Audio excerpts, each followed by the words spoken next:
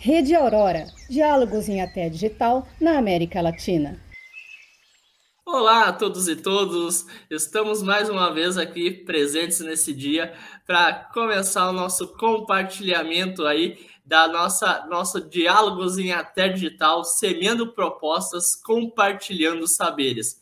Meu nome é Ezequiel Redinho, professor de extensão rural, e quem está hoje aqui conosco, novamente, é o professor Luiz Fernando Soares Zuim. Hoje ele está num lugar especial aí, vai contar para nós fundador da Rede Aurora. E o nosso grande convidado, Gonçalo Tejada Lopes, um grande agrônomo focado na área de extensão rural. Excelentes profissionais no Brasil e no Peru. Hoje nós vamos aprender um pouquinho mais sobre extensão rural no Peru.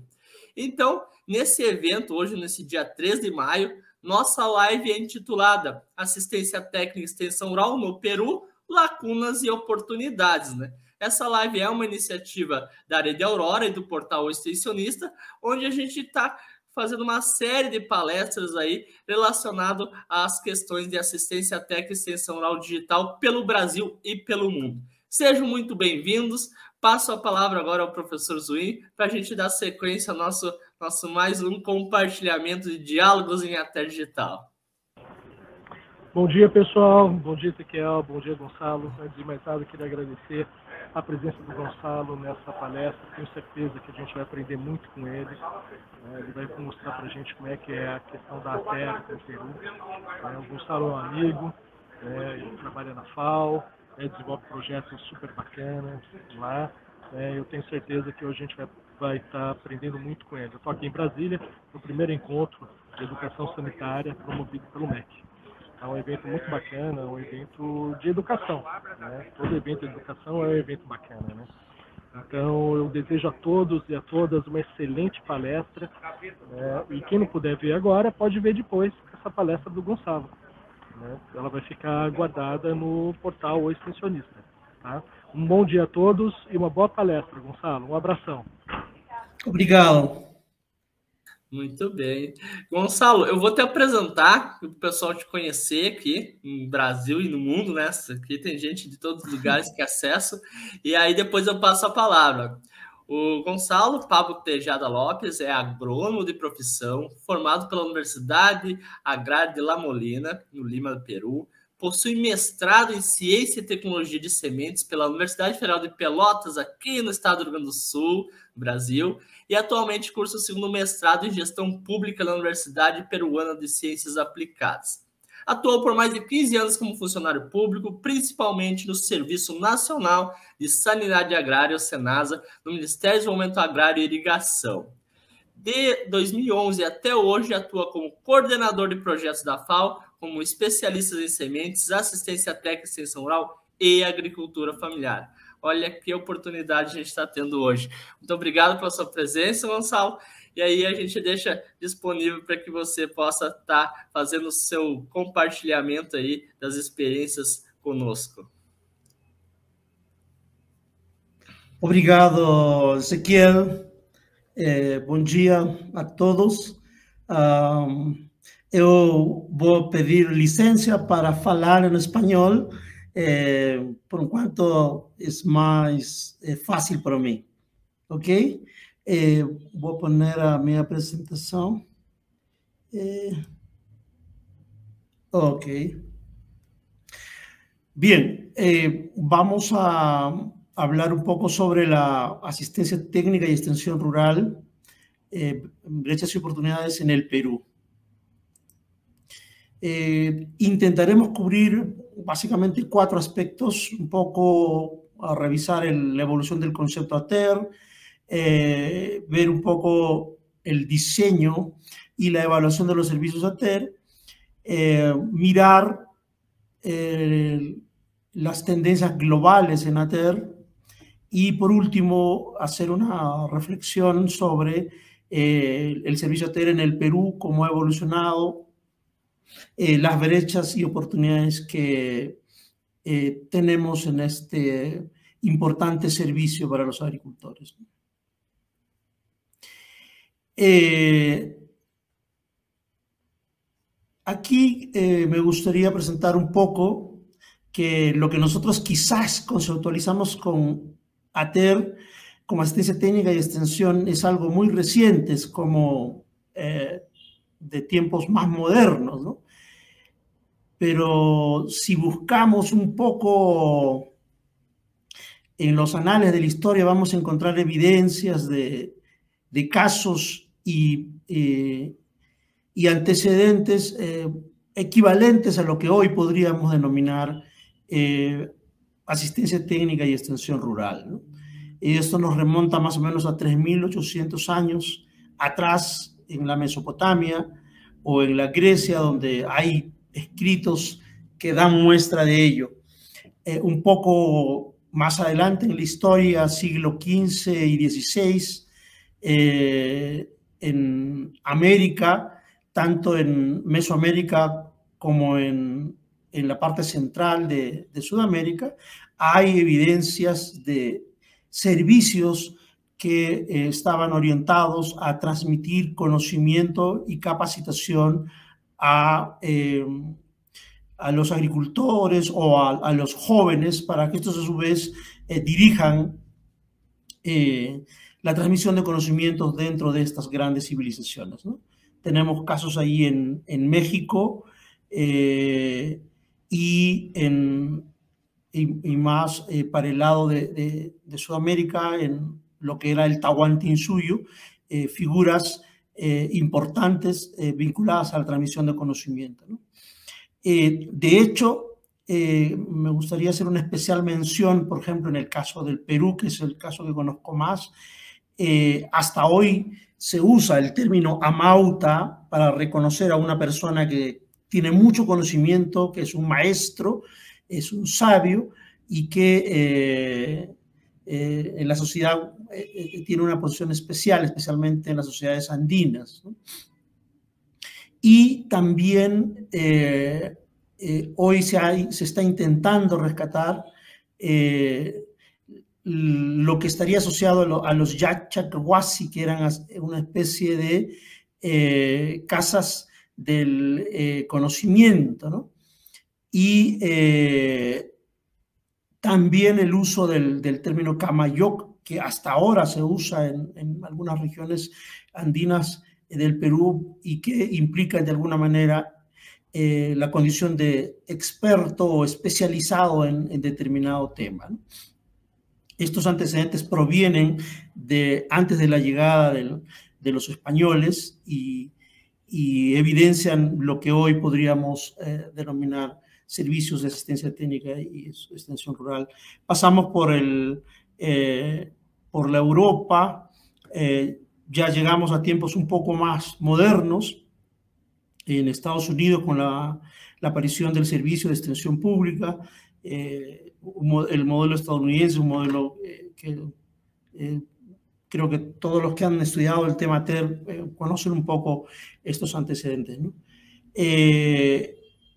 Y luego en los 70 viene la Revolución Verde que, eh, determina un nuevo rol y un nuevo papel al, tema de extensión. Se comienza a trabajar con mucha más intensidad en estos, en estos aspectos. Eh, y toma mucha relevancia los servicios de extensión a nivel global, o por lo menos en los países en, desarrollo, donde eh, se buscaba transmitir las tecnologías asociadas a la Revolución Verde. En los 80 se produce una crisis eh, global y esto eh, también afecta a los servicios ATER y se comienzan a, iniciar procesos de reducción o desactivación de los servicios ATER en América Latina especialmente. y esto eh, impulsado por el crecimiento agroindustrial, la migración a la ciudad, muchas reformas, en, el inicio de muchas reformas en, América Latina y el Caribe, que luego en los 90, ya con los grandes eh, procesos de, reestructuración, del, especialmente del, sector público, eh, implican rediseñándose y reduciéndose los servicios de extensión eh, en algunos casos hasta desactivándose los, los, servicios de extensión, como es el caso del Perú. ¿no? Esto, este, esta contracción, este retraimiento de, la, de los servicios de extensión comienza a abrir eh, espacio y oportunidades para, digamos, eh, eh, opciones alternativas. No, no existía la, los servicios de ATER público, comenzaron a aparecer las ONGs que intentan llenar el espacio dejado por la contracción o la desactivación de los servicios públicos. Y ya en, tiempos un poco más modernos, la asistencia técnica y extensión rural está comenzando a, rediseñarse también, incorporando nuevos elementos eh, y nuevos enfoques de trabajo. Em, el concepto de ATER eh, está eh, em, para dentro de, la, terminología o de los conceptos que maneja FAO, está orientado básicamente, está construido básicamente en tres niveles. Primero, eh, definiendo el público objetivo de estos servicios, que en el caso, que en nuestro caso son los agricultores, incluyen obviamente los eh, criadores de, ganado y también pescadores y, agricultores, e incluso otros actores rurales, ¿no? Eh, ¿Y qué hace esto? ¿Qué hace estos servicios? Eh, facilitan el acceso al conocimiento, información, tecnologías y generan condiciones para la interacción con otros, con otros actores, especialmente en el ámbito rural. Y eso contribuye a que e, estos mismos beneficiarios, este mismo público objetivo, eh, desarrolle habilidades propias, eh, técnicas propias, mejore su organización, mejore su gestión y así que, logre eh, incorporar mejores prácticas a su vida cotidiana o a sus actividades productivas. La finalidad de todo esto es la mejora de eh, los medios de vida y el bienestar. Y en, la FAO estamos eh, eh, muy enfocados con un, lema, ¿no? Una mejor producción, una mejor nutrición, una mejor, ah, un mejor medio ambiente y una vida mejor, sin dejar a nadie atrás.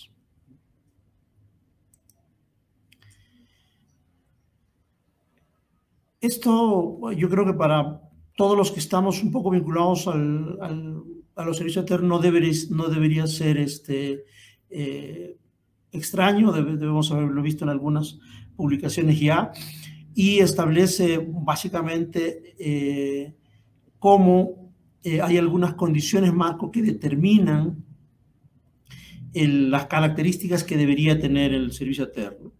El entorno de políticas, la capacidad eh, operativa y técnica de los posibles proveedores del servicio de asistencia técnica, eh, los sistemas agrícolas preponderantes, así como los mercados eh, de destino de los productos de, los agricultores beneficiarios del servicio y también algunos aspectos comunitarios.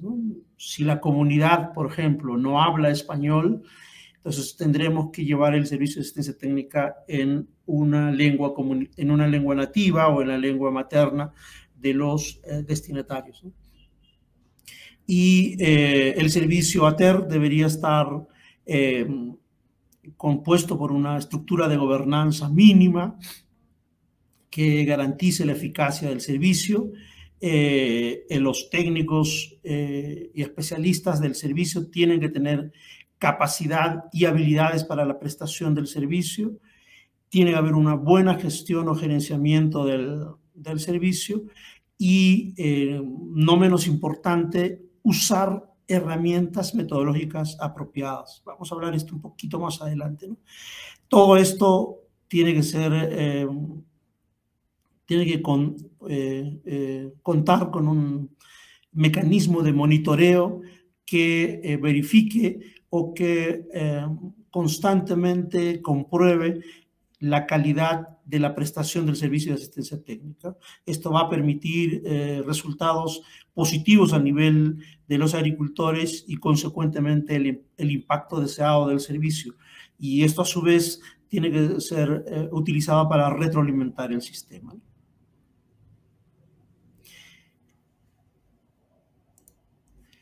Em, ¿Cómo eh, eh, consideramos que debe diseñarse un programa TER a nivel local, que eh, el, el, programa o el servicio TER a nivel local no existe porque tiene que existir, sino porque es un mecanismo para resolver problemas, resolver problemas de los beneficiarios o destinatarios del servicio ATER.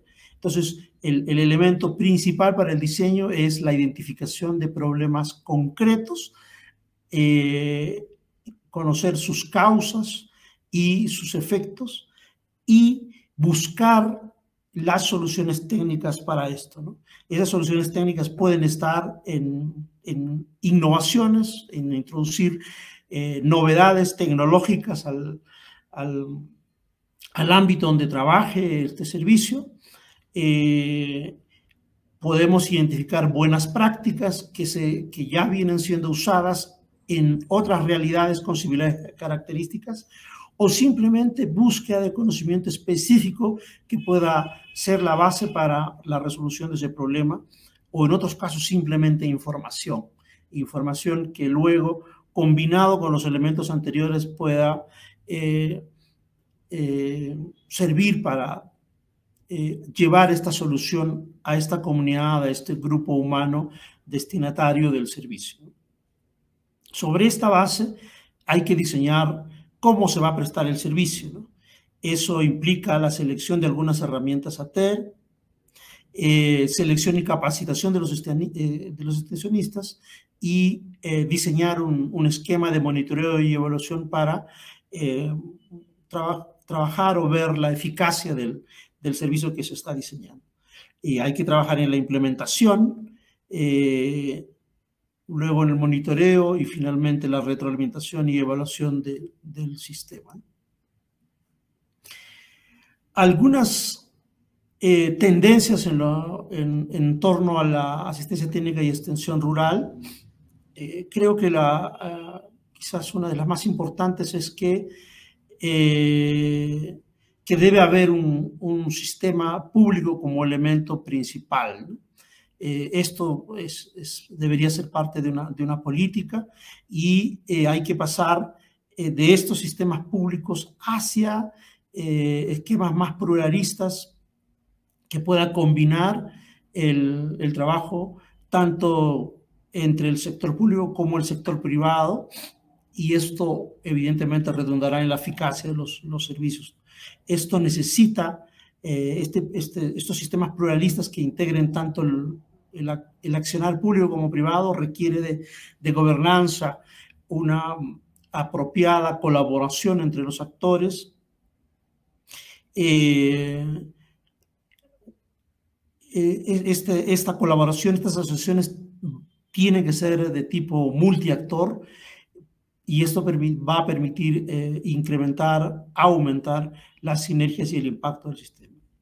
La otra tendencia es que estamos pasando de modelos típicos, ¿no? Eh, quizás el modelo que, casi los, que hemos recibido como, como parte de la revolución verde, este modelo de, de entrenamiento y visita, a pasar a, sistemas que se adaptan eh, que se adecuan a las condiciones eh, locales y a las instituciones específicas de, de cada país. Esto implica un, nivel de evolución en términos de las políticas que regulan el servicio. Eh, hay que hacer reformas probablemente en, el diseño de los servicios. Hay que mirar un poco todas las lecciones aprendidas y buenas prácticas generadas en, el país o incluso en regiones eh, con, características similares a donde estamos trabajando, eh, usar las nuevas tecnologías y hoy este, tenemos que echar cada vez un mayor uso de las tecnologías digitales y la digitalización. Si algo nos ha dejado la pandemia es que tenemos que usar de manera intensiva las tecnologías digitales que pueden facilitar y complementar muy bien el trabajo que se hace en el terreno. La otra tendencia es que estamos pasando de, una extensión pública eh, como, como bien público hacia servicios ATER eh, y que estos servicios más bien se ocupan de los bienes eh, tanto públicos como privados. Entonces, esto implica una redefinición de roles y tareas eh, de los distintos proveedores de servicio, tanto a nivel público, la sociedad civil y el sector privado. Eh, la cuarta tendencia es que pasamos de una cobertura nacional por un servicio público normalmente hacia una comunidad de proveedores de servicios ATER. Esta, esta comunidad eh, está compuesta por diferentes tipos de organizaciones. Y eh, normalmente hay cierto nivel de especialización de, estos, de esta comunidad, especialmente en temas, eh, o esta, esta especialidad también puede estar relacionada con ámbitos geográficos. hay un mayor espacio para el, para el sector privado eh, en la búsqueda de, mercados y financiamiento. Eh, la labor pública tiene que abocarse a identificar y abocar las deficiencias de los servicios, fortalecer el, uso de herramientas así como focalizarse en los eh, grupos humanos eh, probablemente más vulnerables o más desfavorecidos. Eh, la, nueva, la otra tendencia es la investigación pública como principal fuente de conocimiento, que ahora se está transformando en múltiples fuentes de conocimiento. Ya no dependemos exclusivamente de, de la labor de entidades públicas. Esto eh, implica la construcción de redes ATER, de plataformas, de servicios, y está revolucionando un poco la forma en cómo se tiene que generar y compartir el conocimiento eh, que se transmite a través de los servicios de asistencia técnica y extensión rural. Em, pasamos de sistemas públicos centralizados hacia sistemas descentralizados. Creo que lo que, eh, viene ocurriendo en Brasil es un poco un, ejemplo de esto con servicios de carácter estadual eh, y no como un programa del gobierno central. Es un buen ejemplo de, este, de esta tendencia, por ejemplo. E incluso eh, creo que vamos a ir evolucionando a servicios a tener eh, incluso en, ámbitos eh, mucho más acotados, mucho más pequeños al interior de cada país, a nivel distrital, a nivel parroquial, espacios un poco más pequeños, y esto permite una, una, personalización más apropiada de los, de los servicios. Eh, la otra tendencia importante es que estamos pasando de servicios estrictamente tecnológicos, eh, abocados, por ejemplo, solo en la productividad agrícola, solo en el uso de nuevas variedades, a pasar a servicios de asistencia técnica que tengan una visión mucho más amplia y que eh, esté orientado a la, demanda y, a la, y, al mercado. Entonces, esto está cambiando las estrategias y enfoques eh, así como los instrumentos utilizados para la prestación del servicio y pensando mucho más en las necesidades del cliente ATER y de la demanda global del mercado. ¿no? Entonces, eh, antes, digamos, los servicios típicamente eran de ingenieros agrónomos, veterinarios, eh, de repente forestales. Ahora vemos que los servicios requieren, digamos, este, profesionales de diferentes campos del conocimiento y el trabajo combinado de, estos profesionales eh, redunda en una mayor efectividad del servicio. Eh, otra tendencia es que eh, hay cambios, es que pasamos de líneas de mando jerárquicas a esquemas de colaboración horizontal. Ya no hay un, un ente rector, una entidad que lidera todo y las demás nos, nos alineamos al trabajo de esta entidad. Eh, ahora hay que trabajar más en la colaboración horizontal, en equipos multidisciplinarios, y esto eh, em, redunda nuevamente en la eficacia y mejores resultados del servicio ATER. Por último, en el tema del financiamiento, estamos pasando de financiamiento público a financiamiento múltiple. ¿no? Eh, aquí hay mucha experiencia sobre esto. Eh, la llegada de la cooperación internacional, de las ONGs, están eh, contribuyendo a ampliar o a llenar el espacio que, que, que, el financiamiento público también ha ido dejando. ¿no? Entonces, esto, estas son las principales tendencias que, que podemos observar a nivel global en relación a la asistencia técnica y extensión rural.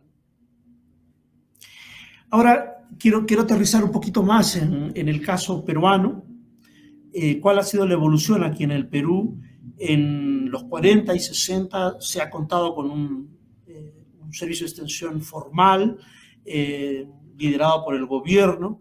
ese, esos, ese servicio ha comenzado a, a ser principalmente público y en algún momento debido a que muchas de las actividades agrícolas tenían que ver con la exportación y aquí eh, eh, exportación, por ejemplo, de, caña de azúcar, eh, de algodón, que eran los rubros más importantes de la agricultura peruana, se comenzó a, combinar, digamos, impropio de, de esa época, servicios públicos con servicios de ATER provistos por las asociaciones eh, hubo organizaciones de estos grandes hacendados. Y esto era una innovación para ese momento. Y de la década 40 y 60 pasamos a la década del 70, donde prácticamente todos los servicios de extensión eh, se concentraron y se manejaban a través de la Dirección General de Promoción este, Agraria, ¿no? Y eh, en, los 80 eh, comenzamos a la, a la reducción de estos servicios eh, por procesos de transformación del sector agrario, como es la reforma agraria aquí en el Perú, que, que hizo al expropiarse eh, los, las grandes haciendas y redistribuirse el terreno hacia los agricultores, eso eh, eh, generó una gran transformación en, el ámbito rural y eso hizo que en algún momento se, diera cierto impulso a la, a asistencia técnica y extensión rural promovida precisamente desde el gobierno. Sin embargo, la, crisis económica ya iniciada a los, los, mediados del 80 hace insostenible eh, la prestación de estos servicios, quedando casi como elefantes blancos sin capacidad de moverse en el terreno por falta de recursos y eh, esto sumado a las corrientes de, de, reajuste estructural que se promovieron en América Latina en los 90 hicieron que en el Perú prácticamente se eliminara el servicio de extensión. ¿Quiénes llenaron este espacio? Este espacio fue llenado por los proyectos de cooperación, eh, algunos de ellos, eh, digamos, eh, por proyectos que, lideró la propia FAO o, el ICA en, su momento, así como otras uh, entidades cooperantes aquí en el Perú, y de manera más activa y asociada a proyectos específicos de desarrollo local, eh, las ONGs, ¿no? Los organismos no gubernamentales. Y abrió eh, el espacio para el trabajo, yo lo llamaría un poquito perverso, de los proveedores de insumos, ¿no? que al no haber una extensión neutral como, como sería un servicio público, comenzaron a aparecer los técnicos de, las, de los proveedores de insumo, por supuesto, no muy interesados en que, en que los agricultores aprendan nuevas técnicas y conocimientos, sino más bien en que eh, los agricultores consuman más productos. Eh, esto proliferó en, en, toda la década del 90 y esto está haciendo de que en el nuevo milenio eh, hayan algunos procesos de cambios en, en, en el Perú. en el nuevo milenio, la llegada, por ejemplo, de las escuelas de campo, eh, es, es, el inicio de un nuevo extensionismo aquí en el Perú. Eh, por supuesto, las escuelas de campo llegaron a través eh, de, la, de, proyectos de la FAO y, y se ha tenido experiencias exitosas, muy interesantes, que hoy, hasta hoy se vienen utilizando en, varios lugares del, del, Perú todavía, digamos, a través del, de personas, eh, extensionistas capacitados eh, por la FAO en estos temas. Hay eh, un cambio institucional en el Perú porque la función que antes era una función del Ministerio de Agricultura, por una ley, que es la ley orgánica de gobiernos regionales, esta función es transferida del gobierno central a los gobiernos regionales. Esta es un, una primera, una primera eh, eh, cambio que, ha ocurrido acá. Sin embargo, si bien a nivel institucional existe esta transferencia de la función, pero todavía existen problemas porque se ha transferido la responsabilidad, más no se han transferido los recursos para ejecutar esta responsabilidad. Y entonces aquí hemos tenido algunos problemas con esto.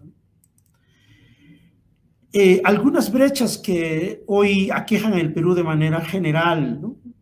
los datos de la, de las, del último censo agrario que se aplicó en el Perú dicen que el 90% de los agricultores no reciben asistencia técnica y ese 10% que sí la recibe eh, probablemente reciben asistencia técnica principalmente de proveedores de insumos. Entonces, eh, no es pues una asistencia técnica apropiada para las necesidades ni resuelve de manera efectiva eh, el conjunto de problemas que afectan a los agricultores. Eh, hay un importante espacio de, tierras eh, cultivables que no son trabajados. Hay en, el Perú, especialmente en la zona de costa, donde el recurso hídrico es, es escaso, tenemos todavía técnicas deficientes de riego y el 88% de, de, las áreas no, no usan riego tecnificado o riego eficiente. Y siendo un recurso escaso, esto es, esto es casi un crimen. ¿no? Eh, sin embargo, esto también viene cambiando. Eh, y esto es algo hay otro dato crítico aquí en el Perú, el 92% de los agricultores no acceden a líneas de crédito formal, de la banca formal. Eh, el, ese 8%, eh, algunos de ellos eh, sí acceden a, algo de crédito formal, pero hay proliferación de eh, financiadores informales que obviamente tienen tasas de interés eh, muy altas en perjuicio de los agricultores. El uso de semillas certificadas, se estima que el 80%, 87% del área no usa semilla certificada y la participación de la mujer en, con empleo formal es bajísima. Esto evidencia que las mujeres hacen labor no remunerada y este, eso eh, las, las, coloca en una situación mucho más vulnerable, ¿no? porque además de no generar ingresos, eh, eh, son afectadas por situaciones de pobreza y exclusión tanto social como económica. Estas brechas, por supuesto, tienen que ser, tienen que ayudar a ser resueltas a ser cerradas a través de los servicios de asistencia técnica y extensión rural. Eh, pero no todo, no todo está perdido, no todo está mal. Hay algunas cosas eh, que están en curso y hay, algunas oportunidades que eh,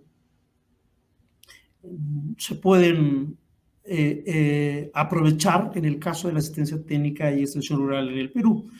La primera es que hay un programa presupuestal público, y esto lo menciono porque eh, un servicio de asistencia técnica sin recursos no funciona. Y hay un programa que, que es eh, importante, aquí se llama el programa presupuestal 121, que precisamente el tema central de este programa es la asistencia técnica y extensión rural. Y, eh, y está trabajando ya con direcciones, algunas direcciones regionales de agricultura para mejorar la prestación de este servicio. Aún tienen eh, algunas limitaciones, principalmente de, carácter tecnológico, pero tenemos por lo menos, digamos, un, programa público intentando llenar un espacio abandonado desde los 90. La otra oportunidad es que hay muchas experiencias positivas que pueden servir para reimpulsar la asistencia técnica y extensión rural en el Perú. ¿no? Por ejemplo, el desarrollo de, de, las escuelas de campo en el Perú ha sido una experiencia muy positiva y esta se puede adaptar a determinadas, a, múltiples condiciones y actividades y puede ser una herramienta importantísima, especialmente en, aquellas zonas donde el, grado de instrucción de los agricultores es bastante bajo. También algunas ONGs han eh, relanzado el concepto del yachachic, ¿no? Como personas de la comunidad que tienen conocimiento y que pueden brindar asistencia técnica, digamos, en el ámbito privado eh, a, otros eh, agricultores o productores de su comunidad. Esta, experiencia ha sido muy difundida en las zonas altoandinas con eh, buenos resultados y de hecho hay algunos públicos que ya están incorporando un poco este, e, e, esta alternativa, ¿no? Los programas del de, Ministerio de de inclusión social, el MIDIS están incluyendo, digamos, como estrategia el, uso de Yachachics eh, como eh, capacitadores en los emprendimientos rurales inclusivos. también se trabajó el tema del talento rural, que es una suerte también de técnico local capacitado y entrenado, que, más o menos con la misma lógica del Yachachic puede, puede desarrollar este trabajo.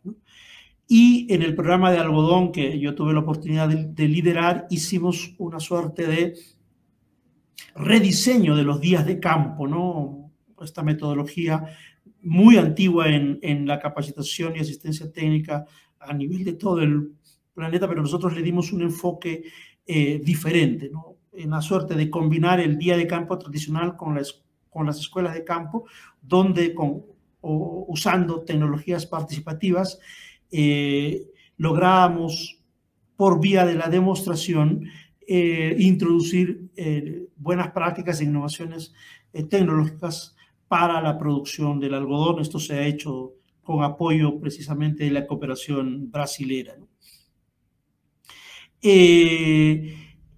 otra oportunidad que tenemos es la incorporación de los nuevos temas que, que están siendo cada vez más relevantes.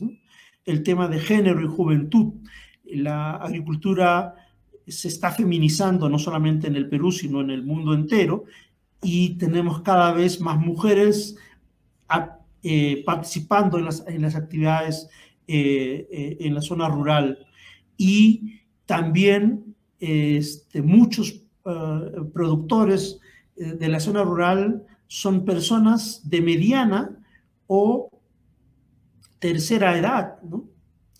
Entonces, este, necesitamos trabajar muy bien el, tema de juventud para eh, involucrarlos eh, y no romper la cadena productiva por el, digamos, el envejecimiento de los productores en el campo. Temas de, inclusión social, el cambio climático, que es un proceso que cada vez nos afecta más. Estamos viendo cada día el impacto del cambio climático de manera en nuestra vida cotidiana y es importante difundir conceptos como la agricultura climáticamente inteligente, eh, eh, la agricultura regenerativa, la agricultura orgánica, que de alguna manera contribuye a, resolver este tipo de problemas. El uso de herramientas digitales y, la digitalización en general es un tema que hay que trabajar mucho y, eh, y es una gran oportunidad.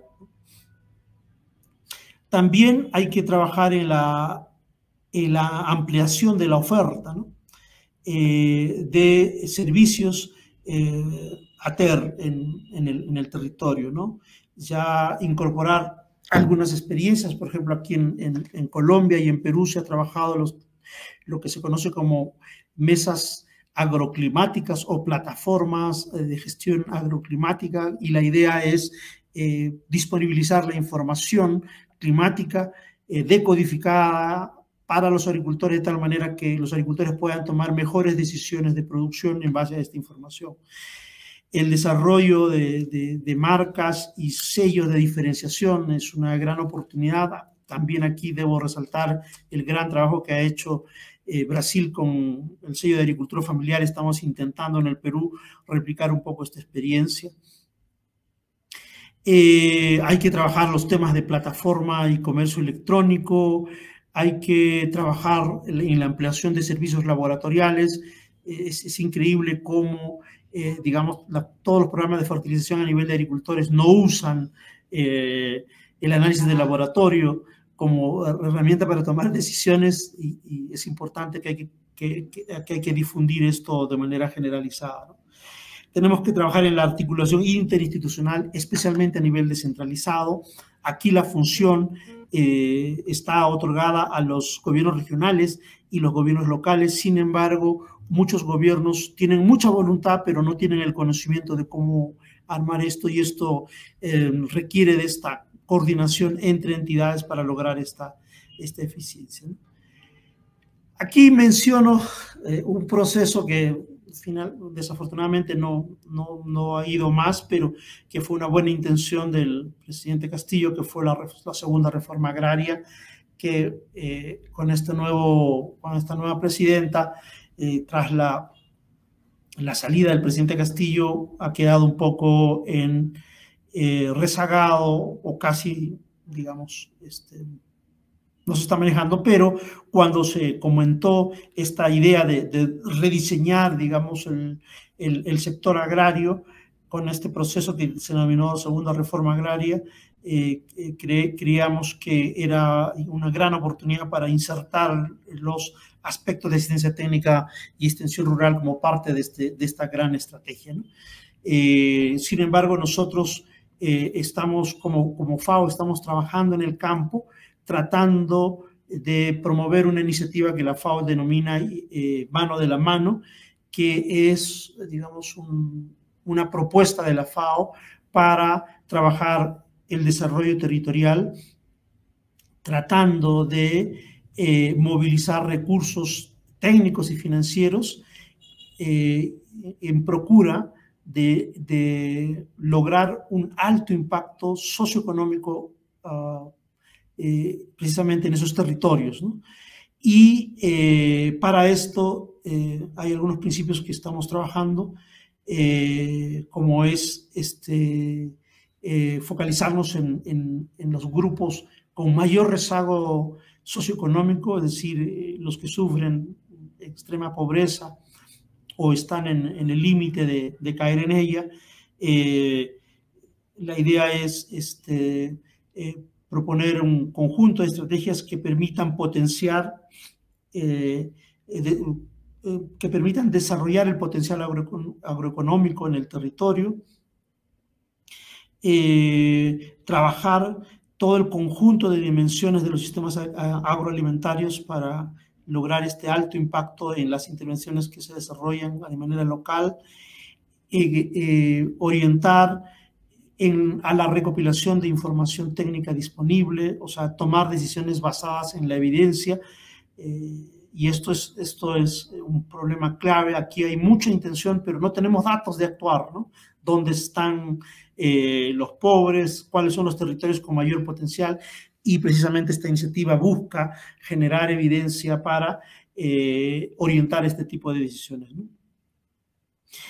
trabajar los datos eh, de manera intensiva a nivel de territorio y tratar de digitalizar la mayor parte de información, vinculándolo con información de geolocalización que permita luego eh, orientar las políticas públicas en el territorio.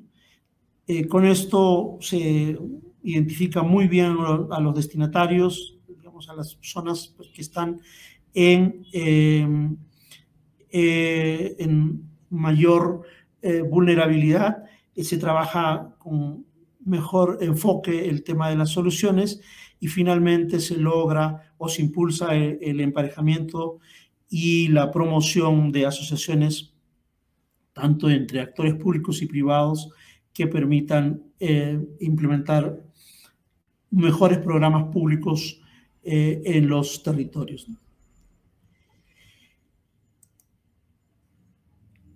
Y eh, esto era lo que tenía para, para ustedes. Eh, solamente quería eh, concluir con la frase servicios de asistencia técnica y extensión rural para una mejor producción, una mejor nutrición, un mejor medio ambiente, una mejor vida, sin dejar a nadie atrás. Muchísimas gracias.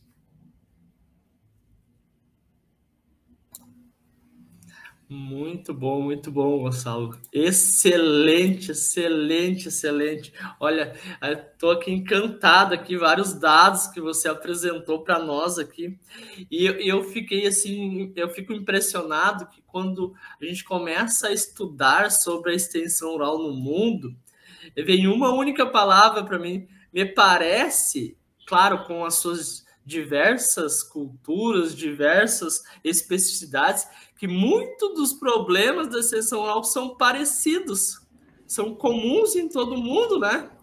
Olha que interessante. É, dias atrás estava lendo um artigo dos agricultores que acessam acessam vídeos pela internet e os problemas deles são os mesmos nossos lá na Inglaterra, né? Então a gente fica pensando, poxa, mas é, veja só quanto há de se fazer, né? Quantas oportunidades de trabalho que se tem na área de extensão rural, né? Então isso me chama muita atenção. E, e aí, quando, quando você começa a comentar os dados, eu começo a comparar com os dados brasileiros e também são parecidos. É. Isso que me chama atenção. Aí eu, eu vou te citar alguns só para você fazer um comentário. Você já deve ter é, comparado isso, né? Você fala que 90% dos agricultores não recebem assistência técnica Peru. No Brasil, é 80% tá muito diferente, não, né? né? Depois é que 92% não acessam as linhas de crédito, né? É, no Peru, né? No, no, Brasil, deixa eu ver aqui, no Brasil é 85%, ou seja, 7% de diferença, né? Então, assim, no Brasil hoje a gente tem praticamente, né? Você que estudou no Brasil, mais de 20 linhas de crédito, nem todas estão em execução, né? E, e aí, se a gente vai olhar dos 15% que acessam, né? Mais da metade, 53%, só dos 15% que acessam, mais da metade são linhas de crédito do governo. E, e aí, o que mais acesso é o PRONAF, né? Que é, que é o Programa Nacional da Agricultura Familiar, né? Então, assim, o agricultor familiar ainda, ou dos poucos que acessam, acessam o PRONAF. E aí a grande questão que fica, Gonçalo, é é, te, te, agora, né? É, por que que no Peru o pessoal não acessa o crédito? Quais, quais são as questões aí? Vamos ver se é parecido com o Brasil. Sim. Eh, aí creería yo que se me ocurren dos, uh, dos causas principales. ¿no? Eh, el primero, y quizás el más importante, es que el crédito eh, se rige por algunas reglas eh, de mercado, ¿no? Y en, algún momento aquí tuvimos un, gran desborde económico, tuvimos muchos problemas económicos y en el Perú se estableció una entidad que se llama la Superintendencia de Banca y Seguros, que es una entidad que regula el mercado de créditos. Y eso hace, e, esa regulación está muy, muy bien establecida, pero para, las, el, para el crédito en las ciudades, en el sector urbano, no está pensado para el crédito eh, eh, rural, que tiene otra lógica, que tiene otro tipo de riesgos. Si aplicamos estos, estas reglas para los créditos en, el ámbito de las ciudades, obviamente la agricultura termina siendo como una agricultura de, como una actividad de alto riesgo y por ende el crédito llega a los agricultores con unas tasas muy elevadas que no se pueden pagar, ¿no? O sea, un empresario en, la ciudad puede acceder al crédito en la banca privada del, del 5 o 10% de tasa de interés anual. Un agricultor va a pedir crédito en, la banca y probablemente tenga 50% o más de tasa de interés. Entonces, digamos, el, el, modelo de del modelo crediticio genera exclusión para los agricultores. Ese es, digamos, un primer problema. Un segundo problema tiene que ver con la parte burocrática, porque el gobierno ha creado un banco para resolver esto. Pero el agrobanco eh, eh, no puede salirse del, marco eh, que establece la superintendencia. Entonces, ya viene a, trabajar en el campo con un poco con las manos atadas, tiene muy poco espacio de maniobra en el, en el, en el campo. Y, si a eso le sumamos problemas de índole eh, burocrático del propio banco, hace que en la práctica, si bien está la línea de crédito, está la oferta crediticia, los agricultores terminen usando y no usando el crédito agrícola porque se demora mucho en ser aprobado o eh, deviene, eh, eh, cuando el crédito es otorgado, deviene en extemporáneo. Hay muchos casos de agricultores que prefieren devolver el dinero porque ya, ya, ya, ya vendiste la producción o ya no lo necesitas para abonar o fertilizar. Entonces, ese tipo de cosas tiene, que tiene que ver con la eficacia de la, de la colocación de créditos es eh, un segundo problema. Si sumamos esos dos principales elementos, bueno, hay algunos otros más que, que, podría mencionar aquí. Por ejemplo, eh, no, no, existe un mecanismo de seguro para el crédito. Entonces, tú tomas el crédito con mucho riesgo. Si te va mal, puedes perder hasta la propiedad. ¿no? Entonces, este, hay, hay, hay, que trabajar todavía en, en eh, digamos, desarrollar los algunos mecanismos complementarios que reduzcan el riesgo que representa la actividad agrícola aqui no Peru. Muito bom, muito bom. É, os, os, os, problemas no Brasil são praticamente similares, não com a alta taxa de juros, mas também, mas principalmente, sim, no mercado privado, nos bancos privados, sim, mas do governo até, até que os juros são bem acessíveis. A questão, eu acho que se alinha muito é a burocracia, né? A dificuldade de acesso a esses recursos e os agricultores, bom, sem contar todas as outras questões da capacidade de pagamento, né? Então, isso aí é, eu acho que é uma coisa que se alinham muito. É, mas, assim, grandes desafios, hein? Olha, sinceramente, grandes desafios na linha de crédito rural.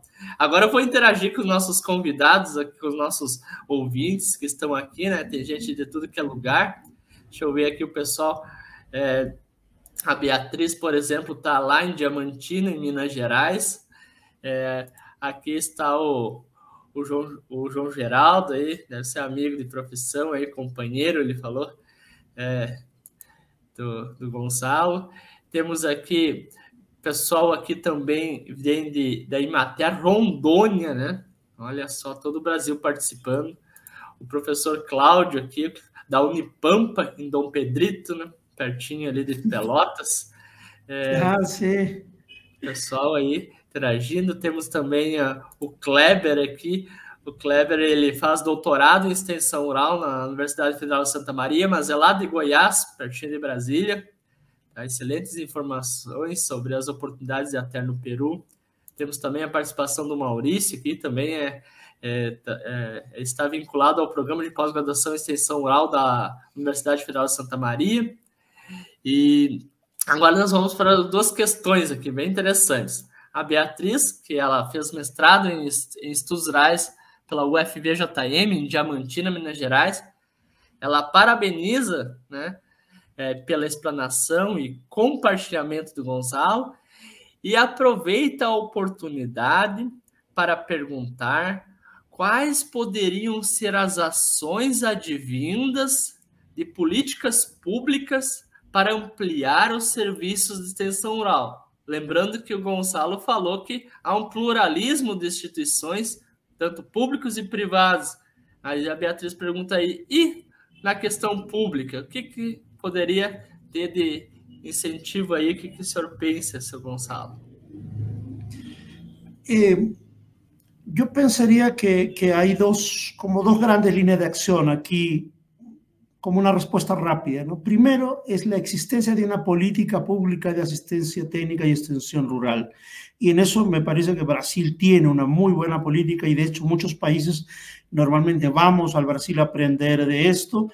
Eh, quizás ustedes que están ahí no, lo sienten, pero desde, desde fuera sentimos cierta envidia de las políticas públicas del, del Brasil. Eso, eso me parece que es uno de los elementos. El otro de los elementos es el financiamiento. Los programas públicos sin recursos, por muy buena intención, por mucho interés, no van a funcionar. Entonces hay que trabajar en buscar los recursos eh, no solamente públicos, también los recursos privados. Hay muchas empresas que quieren tener mejores productos, mejores insumos y estarían dispuestos a, a contribuir para eh, mejorar este, el, el, trabajo de los agricultores que redunde en mejor producto para, para las empresas. ¿no? Entonces, eh, ahí hay un espacio que hay que trabajar eh, y obviamente de pronto me parece que esos esos dos serían los. Ah, de repente podría agregar en el, el, entrenamiento. Es muy, mucha gente cree que contratas un ingeniero agrónomo y que vaya a hacer el trabajo de asistencia técnica, ya está, se resolvió el problema. No, el, el, profesional necesita herramientas y si no tiene una capacitación, un cambio de paradigmas en cómo debe capacitar, si no necesita saber qué tipo de herramientas puede, de, me refiero a herramientas metodológicas a tener, puede utilizar para cada situación. Eh, eh, digamos, estoy en una comunidad y esta comunidad no habla, eh, digamos, no tiene mucha instrucción, eh, hay una predominancia de, de, de personas analfabetas o de repente con educación primaria. Entonces, quizás la, la, escuela la de campo podría ser la herramienta principal para esa comunidad. ¿no? En cambio, tengo una comunidad que, que tiene acceso a la telefonía celular, que, que tiene acceso a, la, Internet. Entonces, quizás las herramientas digitales en ese escenario eh, eh, eh, se tornan más relevantes. Entonces, es, esta capacidad de decidir qué herramienta es más apropiada para los, para implementar el servicio TER, requiere ser desarrollada en los profesionales. Entonces, un profesional tiene que conocer de herramientas ATER y esto implica mucha capacitación. Esto no es, eh, no aparece de manera espontánea, ¿no? Excelente, e eu acho que é uma dos, dos, grandes perguntas, grandes dilemas da extensão rural, né? Não basta apenas ser engenheiro agrônomo, é preciso saber das ferramentas, porque sem elas você não consegue. Eu acho que aí está o grande medo dos extensionistas de ir a campo, né? Porque não, não tem claro qual é a ferramenta que pode ser utilizada para determinada situação, porque é complexo mesmo, né? Então, isso aí é fundamental, isso aí faz toda a diferença no trabalho de extensão rural. Muito boa mesmo. Você comentou, Gonçalo, depois eu vou passar as perguntas aqui do Cláudio, muito boas as questões, sensacionais as questões do Cláudio, eu já passo aqui. Mas queria fazer um comentário É, o Gonçalo estudou aqui em Pelotas, aqui conhece um pouco da região sul, né? É, nós, saímos ontem aqui de, de, da Universidade Federal de Santa Maria e fomos a Ivorá, a 56 quilômetros aqui na região da Quarta Colônia. E aí ontem, por acaso, estourou o nosso pneu do nosso carro, uma questão simples, né? Questão simples, estourou o pneu do carro e estava chovendo muito e a gente estourou bem num lugar onde não pegava sinal de internet. Né? Então a gente não conseguia contatar ninguém, não conseguia trocar o pneu do carro, então a gente ficou. Num, é, e não era um lugar assim desabitado, era um lugar que tinha muitos moradores, inclusive, mas não tinha acesso. Então, assim, só estou comentando esse simples caso, né? Que é um dos lugares onde tem agricultores familiares que não têm acesso à internet, né? Que é o, é o uhum. ponto número um, base, né? A gente não conseguiu conexão. E nem era só a internet, era o sinal do celular também, né? Então a gente ficou completamente isolado. Né? A gente foi fazer um trabalho de extensão rural e não e ficou trancado, não conseguiu realizar o trabalho pelo fato do, de, da falta de comunicação num aperto. Imagina os agricultores, né? Eu como filho de agricultor também, em muitos lugares que não tem esse acesso básico de comunicação que faz uma diferença incrível, né? Então, é, você relatou essas dificuldades e isso eu parece que é no Brasil, no, no mundo inteiro, nem é no Brasil, no, no, Brasil, no Peru, em todos os lugares, né? Então, é, para mim, isso aí é, é, eu acho que investimento em, em, em, em rede de celular, internet, eu acho que isso é um grande mote para o futuro, né? E penso que aos poucos, né? Eu estava falando com o professor Zuin, né?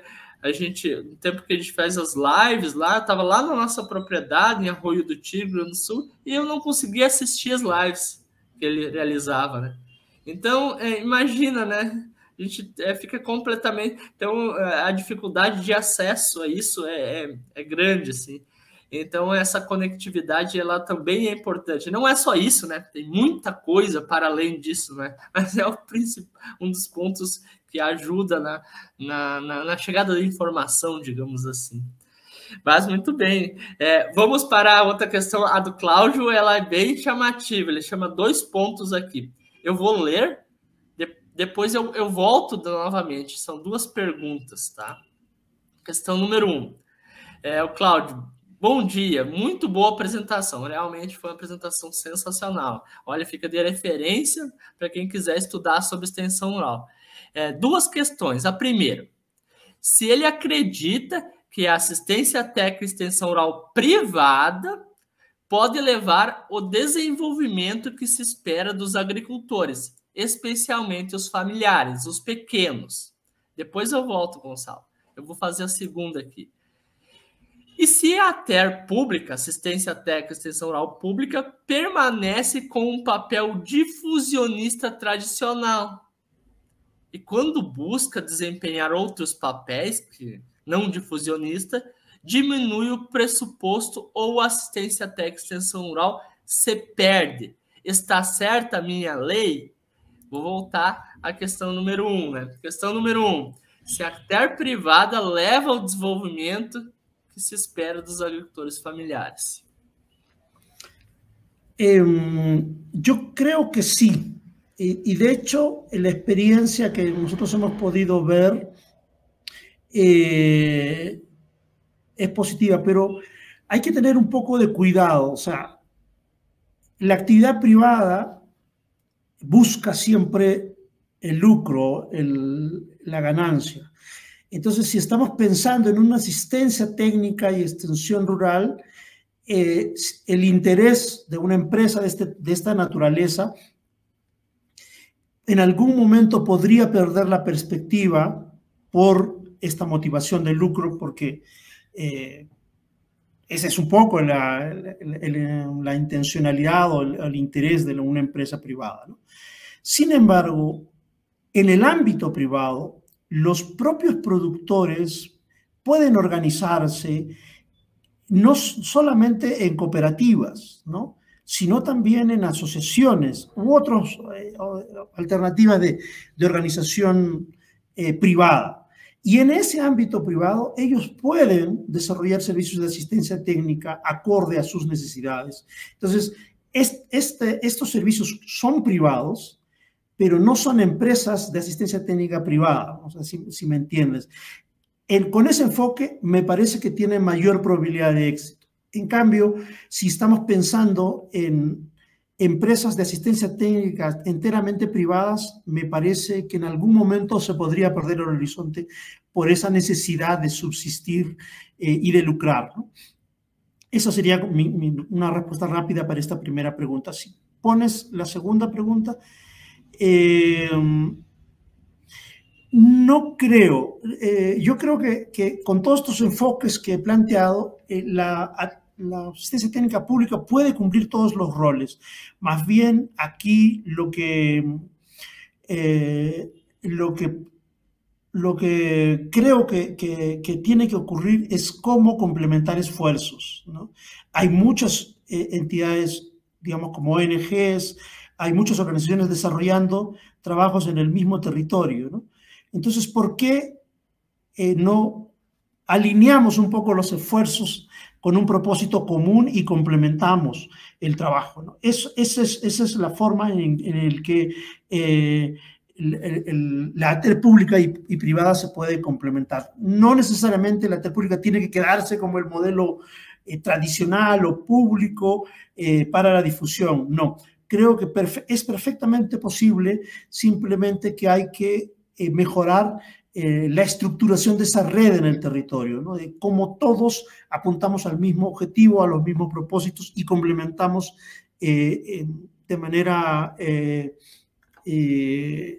como diría, a, ver, buscando una palabra apropiada para esta situación, en el, en el que tengamos todos los mismos intereses de, sociales, ¿no? Entonces, es perfectamente posible. Muito bom, muito bom. É, esses são os grandes dilemas eternos da extensão oral, né?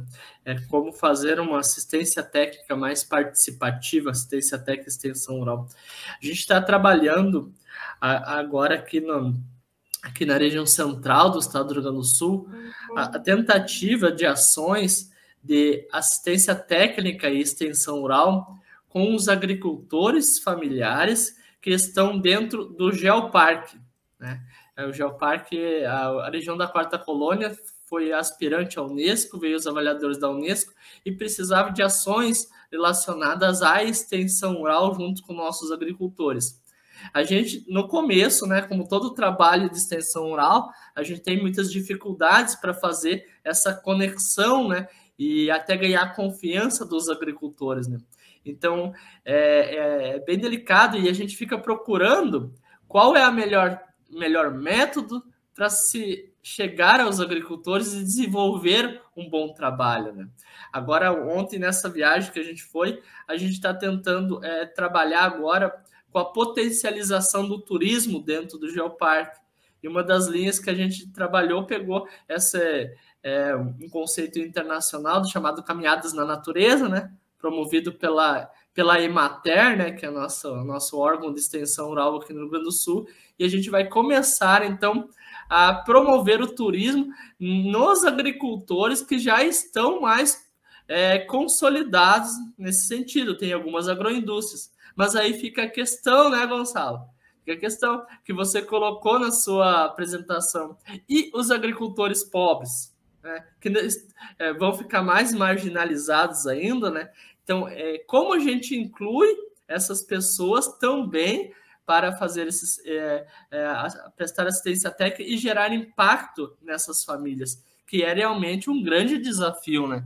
Então, a extensão rural tem vários desafios e geralmente, né, acho que com todo mundo, a carência de profissionais que conseguem se dedicar a essa área, né?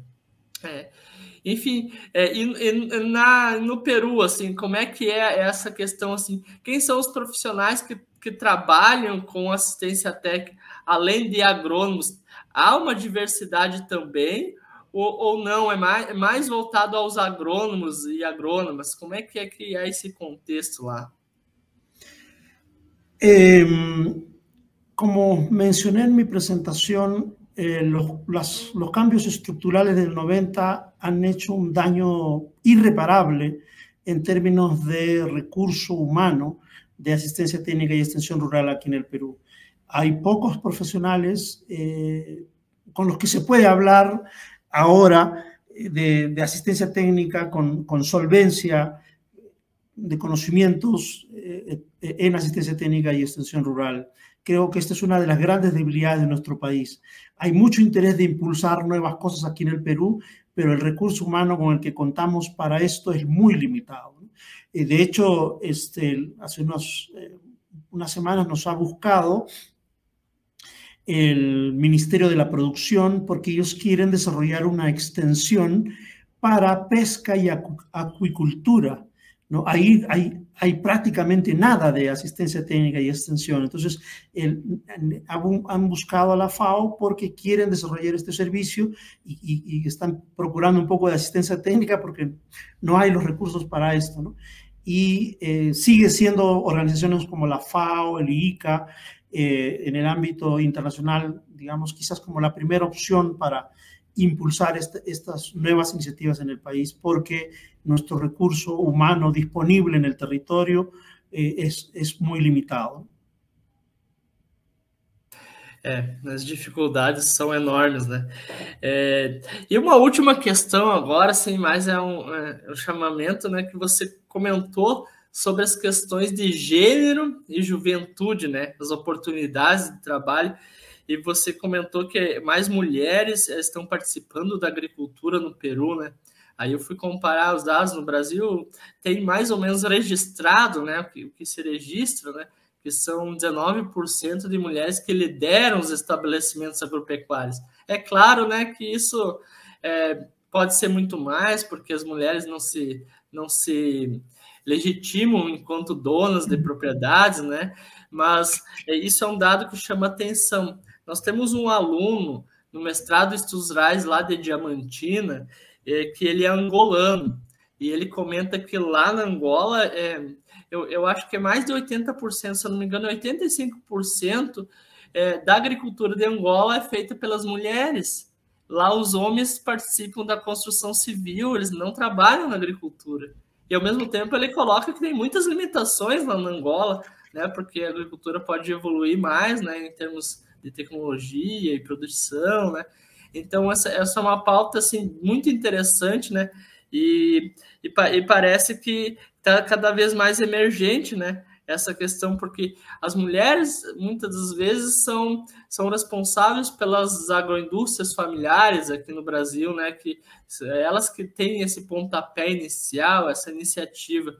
É, conta mais um pouquinho sobre a questão das mulheres, é, para a gente finalizar a nossa live aí. Como é a, questão das mulheres no Peru sobre esse comparativo com o Brasil? Eh, sí, Hace poquito estuvimos en un webinar discutiendo este tema, no solamente en el Perú, sino en América Latina, en, la región andina, con Ecuador, Colombia y Bolivia. La situación es más o menos similar. Eh, eh, primero, eh, las unidades normalmente están lideradas por hombres. Los porcentajes son más o menos los, los mismos que tú has indicado. Un menor porcentaje de mujeres liderando las unidades productivas. Pero a su vez, muchos de los hombres están saliendo del campo a hacer labores en otras actividades económicas que la agricultura. Entonces, las labores agrícolas van quedando en manos de las mujeres cada vez más. En términos laborales, para una misma labor, una mujer siempre recibe menos eh, pago. Es muy normal, dice, para el hombre tiene un sueldo y la mujer tiene un sueldo menor porque aparentemente por su tamaño, por su fuerza, e, es menos productiva. Y en la práctica se ha demostrado que para las mismas funciones las mujeres pueden ser a veces hasta más productivas que los hombres. Y ahí hay una discriminación para, el lado, por el, para las mujeres. Luego hay otro, hay otro, eh, otro elemento que eh, las mujeres desarrollan casi dos o tres veces más actividades no remuneradas en el hogar en comparación con los hombres. Además de hacerse cargo de la agricultura, tiene que hacerse cargo de la, de la atención de los niños, de la preparación de alimentos y, y actividades por las cuales no recibe una remuneración. Entonces, el papel de la mujer en el territorio es un papel desventajoso. Pero también hay aspectos positivos. Normalmente cuando una mujer toma un crédito, tiene mejor, menores tasas de morosidad, o sea, tiene mayores eh, eh, eh, tasas de cumplimiento de, créditos, por ejemplo. Entonces, cuando una mujer administra los recursos, es, más eficiente en el uso de los recursos. Entonces, hay una gran oportunidad de, impulsar una mayor participación de las mujeres en el liderazgo de las actividades agrícolas y en los espacios de toma de decisión. ¿no? Esto, esto es, esto es este, importantísimo. Y hay un detalle que aquí quiero comentar, que quiero adicionar a esto, y es que nosotros en nuestra experiencia, eh, cuando hacemos eh, eventos de asistencia técnica y extensión rural, lo que observamos es una bajísima participación de mujeres. Entonces, es otro reto también que tiene la asistencia técnica y extensión rural, cómo lograr captar la atención de las mujeres para eh, transmitir, capacitarlas, darles herramientas eh, en, sus labores, ¿no? Entonces, esto es también otro reto que tiene la, la ATER, ¿no? Cómo eh, incrementar una mayor participación de mujeres en las actividades ATER.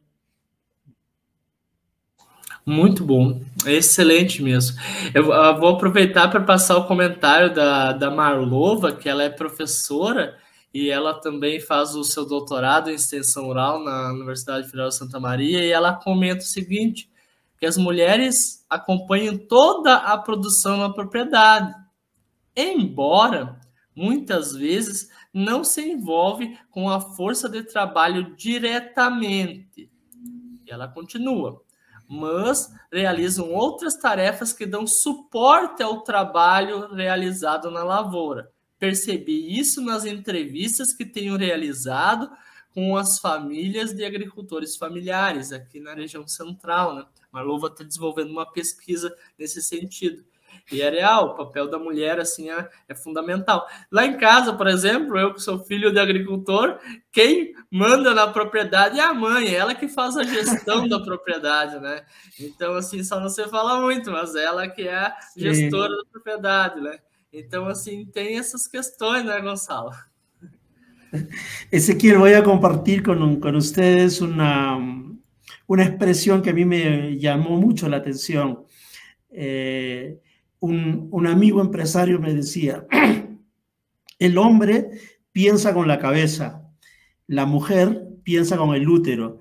Y no, en, en ese momento no comprendí muy bien la magnitud de la, del razonamiento, ¿no?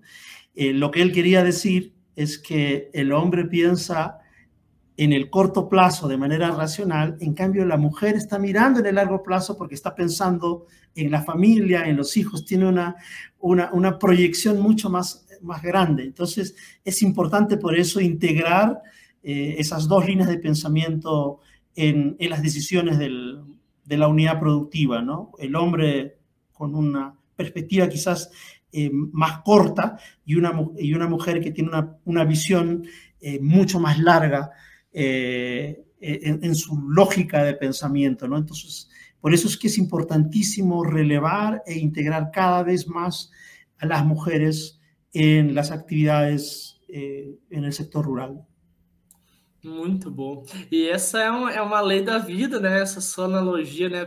Do pensar a longo prazo, né? Se for numa profissão ou, ou, se for no se for na agricultura, em qualquer profissão, né? É, as pessoas elas têm dificuldades de pensar no longo prazo. Tenho notado isso, né?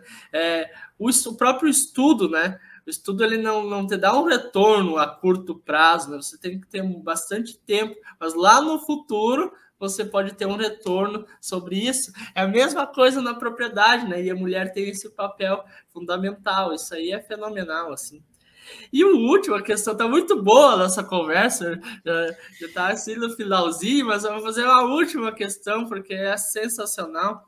E eu acho que é o grande problema também é, em todo o mundo, penso eu, que é essa questão da juventude rural. Gonçalo, é, você não me conhece, a gente está conhecendo agora, mas eu sou filho de agricultor familiar que tem 20 hectares aqui na região de Arroio do Tigre, região central, e eu tive que sair da minha propriedade para estudar, né? Não tinha condições de ficar lá porque eu gostaria, gostaria muito de estudar. E assim como eu, muitos jovens no Brasil, né, e no mundo saem das suas propriedades por uma série de dificuldades, né? Como você comentou, e até a questão da mulher que é, ela não tem uma renda, né? Às vezes o jovem trabalha na propriedade e, e não, também não tem a sua renda, porque a renda é da família, né? Então, tem essas dificuldades na agricultura familiar e há várias iniciativas que se tentam de fazer a sucessão rural. Uma delas é as escolas de família agrícola, né? as escolas de alternância pelo mundo, para tentar mostrar a importância desse trabalho. Há muito que se fazer ainda. É, o que, que você pode nos falar sobre essas experiências de sucessão rural tanto negativas quanto positivas que se tem ao longo da, do seu conhecimento aí da área de extensão rural? Sí, eh, yo creo que el, el, lo que más eh, daño le hace a la, a, la, a la, extensión es la improvisación. ¿no? Pensar que que el tema es muy sencillo, que, que, las, que las recetas de un lugar funcionan en el otro de la misma manera. Esto es un, gran error en la extensión rural y puede terminar desprestigiando el proyecto y, y, fracasando. ¿no? Eh, el otro problema es que se piensa que el problema se va a resolver en una campaña, en un año, y ya está.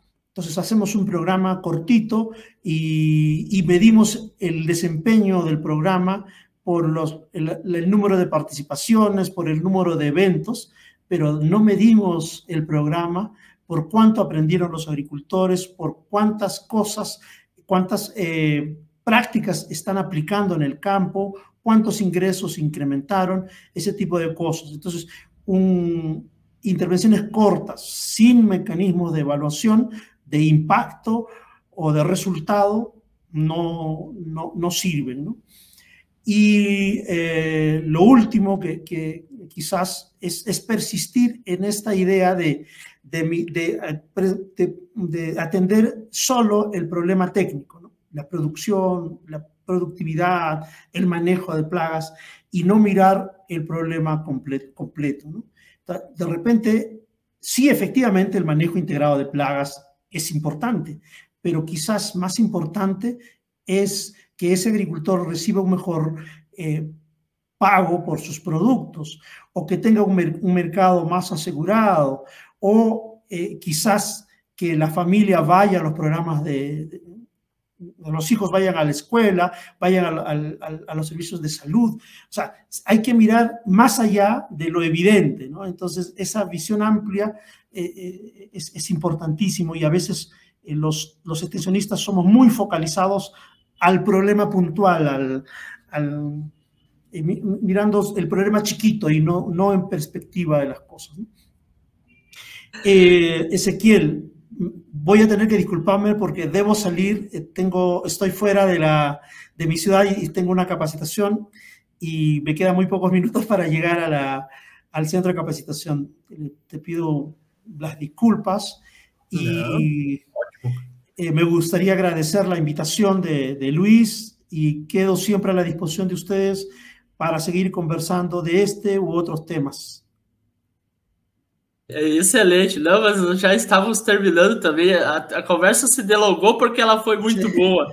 Mas eu quero deixar a, a última reflexão em cima da, da, sua, da sua fala, para a gente encerrar mesmo.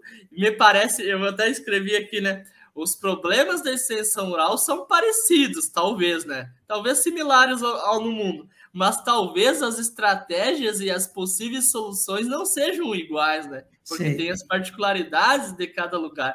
Muito obrigado, estou muito feliz, muito obrigado por compartilhar esse momento conosco. Que grande aula de, de extensão rural aqui. E eu fico muito feliz. E até uma próxima oportunidade que, que possa estar uh, divulgando mais conhecimento conosco aí nas próximas oportunidades, porque foi sensacional. Muito obrigado mesmo, Gonçalo. Muito obrigado. Gracias, gracias Ezequiel por la, por la invitación y, y solamente responder a este comentario final que, que, que has hecho. Eh, la asistencia técnica y extensión rural es una combinación de conocimiento, ciencia y arte. Eh, esto es, es trascendental, ¿no? no pueden haber las mismas soluciones siempre para los mismos problemas. ¿no? Eh, hay que seguir trabajando en, en, en, esto y gracias por la invitación nuevamente, quedo a disposición las veces que ustedes quieran, podemos conversar de este u otros temas y hasta otra oportunidad, querido Ezequiel, y lo mismo para mi gran amigo Luiz. Muito obrigado. Então, estamos finalizando mais essa live. Lembrando que dia 17 de maio nós temos uma próxima live sobre diálogos em até digital é, e ela está intitulada A Extensão Rural em uma região de cacto no semiárido da, da Argentina. Nosso convidado é o Patrício Sancho. Acompanhe aí nos próximos momentos esse grande diálogo. Muito obrigado e até a próxima oportunidade. Tchau, tchau. Rede Aurora Diálogos em Até Digital na América Latina.